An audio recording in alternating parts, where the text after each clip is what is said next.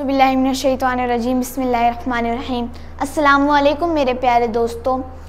Today I will present matter and changes in states सबसे पहले मैं आपको मैटर के बारे में बताऊँगी।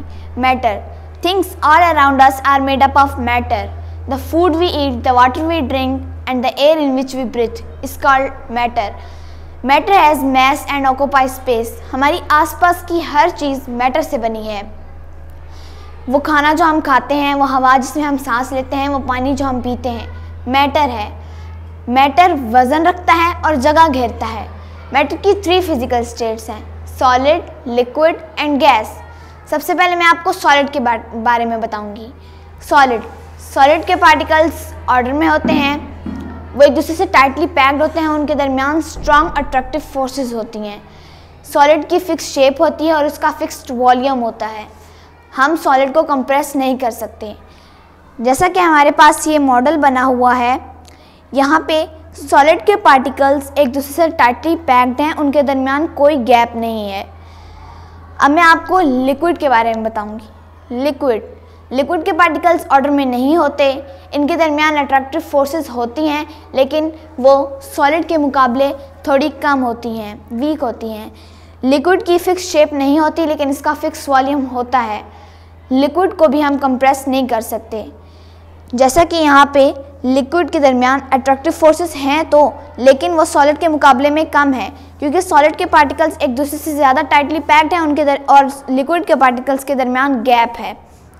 अब मैं आपको गैस के बारे में बताऊँगी। गैस गैस के पार्टिकल्स ऑर्डर में नहीं होते, इनके दरमियान बहुत ही वीक अट्रैक्टिव फोर्सेस होती हैं। गैस के पार्टिकल्स की ना ही फिक्स शेप होती है और ना ही उनका फिक्स वॉल्यूम होता है और हम गैस को कंप्रेस कर सकते हैं। जैसे कि यहाँ पे आप देख रहे हैं कि गैस के पार्टिकल्स में बहुत ज़्यादा गैप है, वो एक दूसरे से बहुत दूर दूर हैं और इनके दरमियान बहुत ही वीक एट्रैक्टिव फोर्सेस होती हैं। अब मैं आपको affect of heat on the arrangement of particles के बारे में बताऊँगी कि जब हम किसी ऑब्जेक्ट को हीट करते हैं तो उनके पार्टिकल्स पर क्या असर पड़ता है। जैसे हम एक प्लास्टिक लेते हैं और उसको हम उस पर हम आग जलाते हैं तो उसके जो पार्टिकल्स होंगे वो अपनी एनर्जी गेन करेंगे और उनके दरमियान जो अट्रैक्टिव फोर्सेस होंगी वो वीक हो जाएँगी और उनके दरमियान गैप आ जाएगा वो एक दूसरे से दूर दूर हो जाएँगे।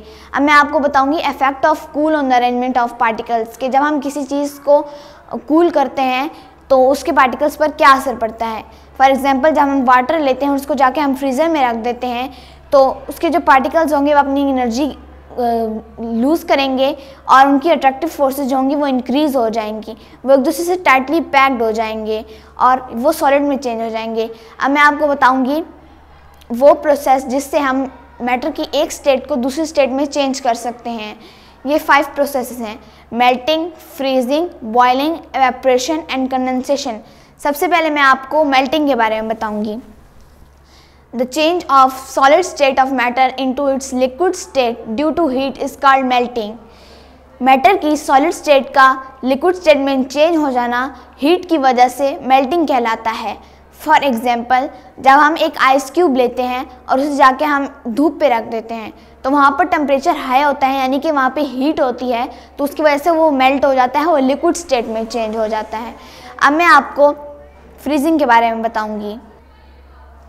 The change of liquid state of matter into its solid state is called freezing matter की लिक्विड स्टेट का सॉलिड स्टेट में चेंज हो जाना कूलिंग की वजह से फ्रीजिंग कहलाता है। फॉर एग्ज़ाम्पल जैसे कि हम एक वाटर लेते हैं और उसको जाके हम फ्रीज़र में रख देते हैं तो वहाँ पर टेम्परेचर लो होता है, यानी कि वहाँ पे कूल कूल ठंडक होती है तो उसकी वजह से जो लिक्विड वाटर होगा, वो आइस में चेंज हो जाएगा, यानी कि वो सॉलिड बन जाएगा। अब मैं आपको बॉइलिंग के बारे में बताऊँगी।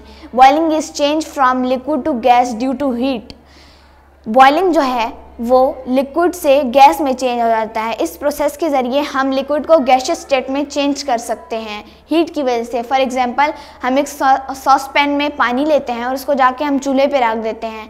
उसके बाद जो चूल्हा, यानी कि हम आग जलाएँगे वहाँ पे तो वहाँ पे टेम्परेचर हाई होगा, यानी कि वहाँ पे हीट होगी तो जो वाटर होगा, वो वाटर वेपर्स यानी कि वो भाप बन जाएगा और वो एयर में चला जाएगा। इसको हम बॉइलिंग कहते हैं। मैं आपको एवेपरेशन बताऊँगी। The change of liquid state of matter into its gaseous state without boiling is called evaporation evaporation matter के लिक्विड स्टेट का गैशियस स्टेट में चेंज हो जाना विदाउट बॉइलिंग यानी कि बॉइलिंग के बगैर एवेपरेशन कहलाता है। यानी कि वो कुदरती तरीके से होती है। यानी कि जैसे कि दरियाओं, समंदरों का पानी होता है जब सूरज की रोशनी उन पर पड़ती है तो वो खुद ब खुद एवेपरेट होता है, यानी कि हम उन्हें बॉयल नहीं करते। वो खुद ब खुद एवेपरेट होता है और वो जो वाटर वेपर्स होते हैं, वो फिर एटमोसफेयर में चले जाते हैं। अब मैं आपको कंडेंसेशन के बारे में बताऊँगी। जब ये वाटर वेपर्स हमारे एटमोसफेयर में चले जाते हैं तो वहाँ पे टेम्परेचर लो होने की वजह से ये टाइनी ड्रॉप्स में चेंज हो जाते हैं। और फिर उसके साथ बहुत सी गैसेस मिलती हैं और डस्ट पार्टिकल्स फिर वो मिलकर एक क्लाउड बनाते हैं और उस क्लाउड से फिर बारिश होती है। इसको हम कंडेंसेशन कहते हैं।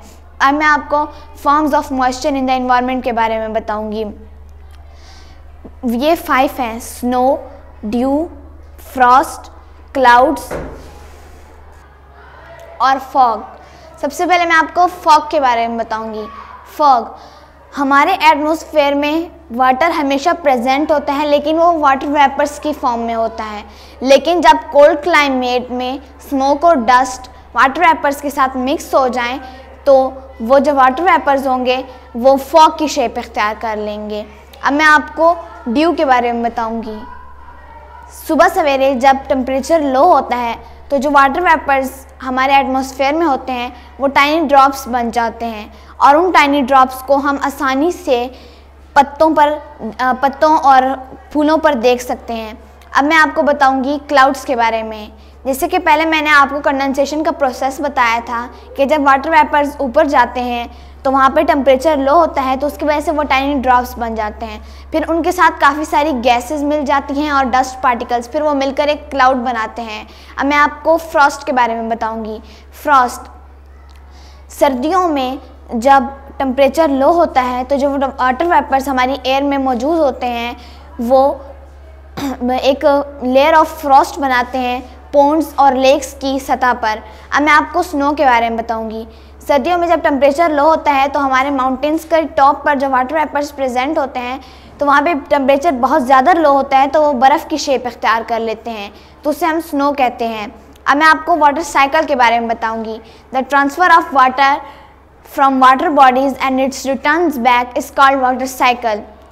Water body से वाटर का ट्रांसफ़र होना और उसका दोबारा वाटर बॉडीज़ में आ जाना वाटर साइकिल कहलाता है फॉर एग्ज़ाम्पल जैसे कि हमारे पास एक ये मॉडल बना हुआ है कि जब एवेपरेशन और ट्रांसपीरेशन होती है तो जो वाटर होता है, वो वाटर वेपर्स बन के एटमोसफेयर में चला जाता है उसके बाद वहाँ पे कंडेंसेशन का प्रोसेस होता है तो वो स्नो या फिर रेन बन के दोबारा से वाटर बॉडीज़ में आ जाता है। थैंक्स।